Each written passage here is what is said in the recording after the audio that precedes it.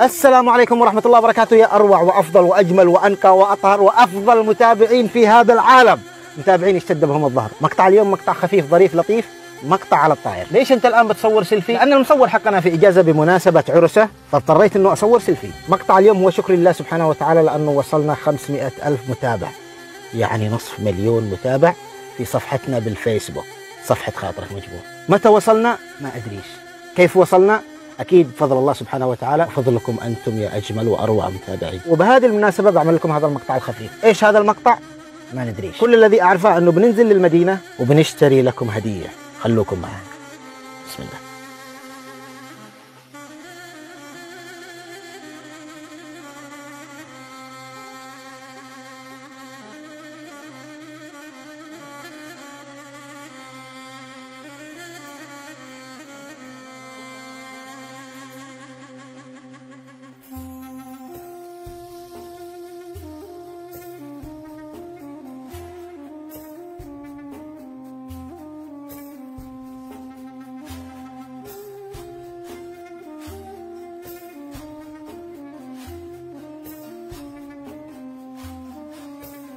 أول شيء بنشتري مي. السلام عليكم. لي خمس. كيف حالك؟ مم. أيوه يعني الشغل مش عيب. بعد يشتغل لأني أعتبر نفسه يشتي مرة يشتي أي ها حاجة ها ها ما ما ما ليش يشتغل؟ ليش؟ يشتغل لأني يشتي بيت يشتي مرة يشتي هاوي يصرف على البيت. يعني الواحد يشتغل عشان يشتي مرة ويشتي بيت ويشرف على أخوانه. أيوه. ما شاء الله تبارك. حلو يلا حلو. تشتي مرة من بدري. أيوه لا أم أكبر عدنا شوية. أي بس تجمع المهر ها؟ أيوه. يلا تمام الله يلا، معك خدمات. شكرا والله السلام عليكم. تعال تعال. ما شاء الله تبارك الله. كيف تمسكوا هذه؟ الشبكة شبكة؟ آه يعني تجي شبك ذا وتغطيه كذا وتجيب فيه يعني فأر. يعني فار. أيوه. يعني يحط فار وهم بيجي يأكل ال- الفار أيوة، هذا؟ تجيب هذا الفار وتعطي لهم خارج فوق ال- الشبكة. ما شاء الله أيوه. يعني طيب ربط لي ذول الاثنين. بنعمل بهذه كبسة. ما شاء الله تبارك الله. زوج عصافير حلوة أشوف الآن.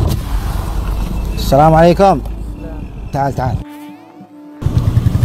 ما شاء الله ما شاء الله. شوف هيبة المنظر. ما شاء الله تبارك الله ما شاء الله تبارك الله.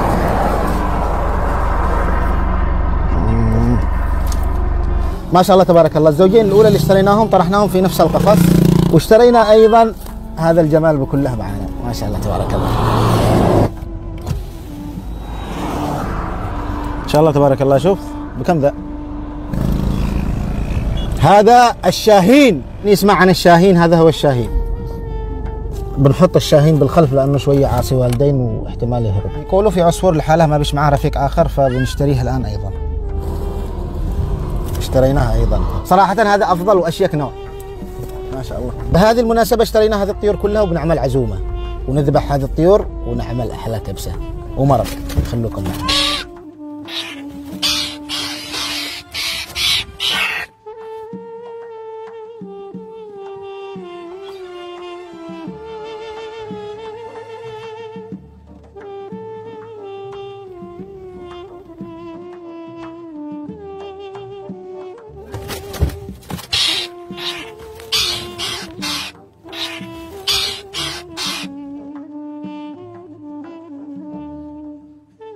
وجبة الطيور. بسم الله الرحمن الرحيم. بسم الله. مساء الخير. بنبدأ بهذه الطيور إن شاء الله.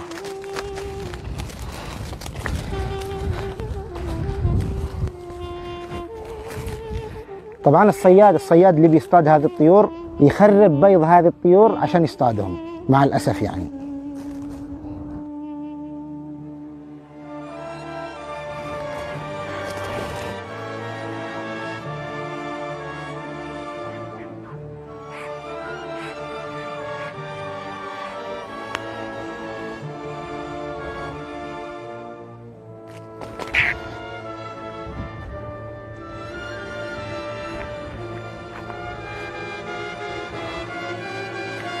الآن دور هذه الطيور.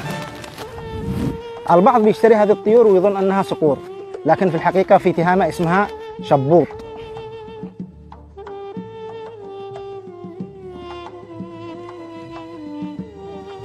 إيش طعم الحياة بالنسبة لهذا الطير إذا أكلته أفضل أكل وشربته وفي المقابل بيكون محبوس في قفص؟ إيش الفائده من الأجنحة اللي خلقها الله سبحانه وتعالى لهذا الطير وهو مش قادر يجربها ويطير؟ طير! طير!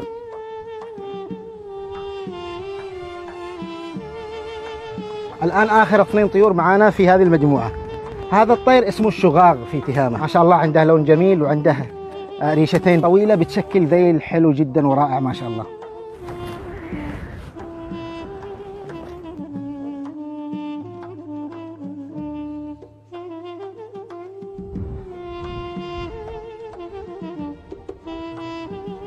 الآن معنا آخر طير. هذا الطير هم بيبيعوه على أساس إنه شاهين. لكن في الحقيقة هذا في تهامة يسمى الجون. الجون لك حل وجون مالك عندنا ما تيتيش هذا هو الجون. مشاهدينا الكرام في بداية المقطع قلت لكم بانه بنعمل بهذه الطيور وجبة لذيذة. في الحقيقة هذه الطيور خلقها الله سبحانه وتعالى وجعل لها روح وجعلها طيور تطير في هذا الكون الفسيح. فمش من نظام حياتها بأنها تكون موجودة في هذا الاقفاص. الشيء الثاني إذا كنت اشتريتهم عشان المنظر أو الجمال فالله الغني عنهم، في أشياء كثير ممكن تعوضك عن جمال هذه الطيور وعن منظر هذه الطيور سواء كانت صور كانت ألعاب كانت أي أشياء جميلة. وإذا أنت اشتريتهم لأطفالك فيا ليت إنه تعوضهم بأشياء غير هذه الطيور. في الأغلب ما يمسكوا هذه الطيور إلا بعد ما يقتلوا أطفالها أو البيض تبعها. في الحقيقة وأنت نازل في خط التهامه بتحصل أشخاص كثير يبيعوا مثل هذه الطيور هم يسترزقوا منها فاشتري منهم. بس في المقابل خليها ترجع تطير في فسيح هذا الكون. أراكم على خير. محبكم عبد اللطيف الزيلاني